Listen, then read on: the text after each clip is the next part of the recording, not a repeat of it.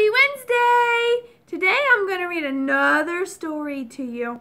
And this story is called Island Counting One, Two, Three. See it? All the boys and girls are on an island. And let's see what this book is all about. One little island in the Caribbean Sea. You see the island, it's got all sorts of palm trees look, the number one. What number comes next? Do you know? Hmm. Two pirates squawking in a coconut tree. You see the two pirate? Look, parrots.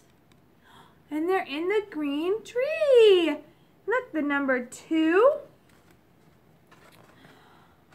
Three painted houses sitting high on a hill count them. Ready? One, two, three. And there's the number three. Hmm. Do you know what number's next? I bet some of my friends do. Four donkeys running round the old sugar mill. Look at the old mill. See, let's count donkeys. One, two, three, and four. And there's the number four. Hmm.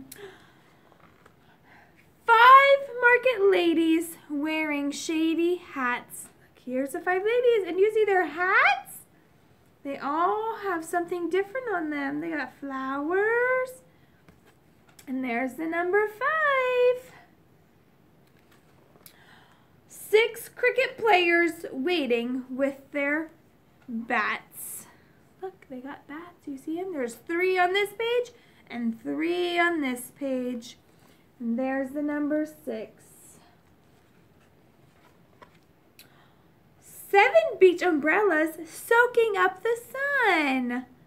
Look, the seven umbrellas, they're all different colors. And they all have their own pattern and design on them. And look, there's the number seven. Eight drummers drumming. Ping pop, ping pong. There they are. And there's the number eight. Nine limbo dancers swaying in a line. Here's the number nine. And ten children jump up and shout, Hooray! It's carnival time! all on one little island in the Caribbean Sea.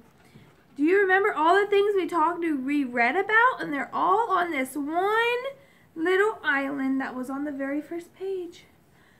All right, friends, thank you for listening, and I hope you enjoyed our book.